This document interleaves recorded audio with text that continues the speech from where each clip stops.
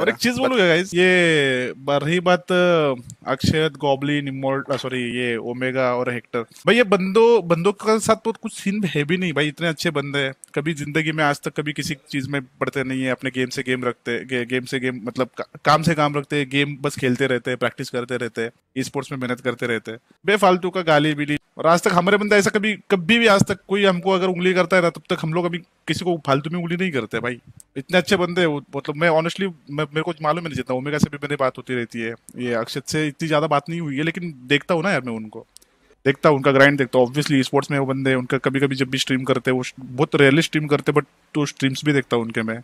नई नई चीज़ें मैं मेरे प्लेयर्स को भी बोलता हूँ, देखो भाई क्या कर रहे हैं अलग।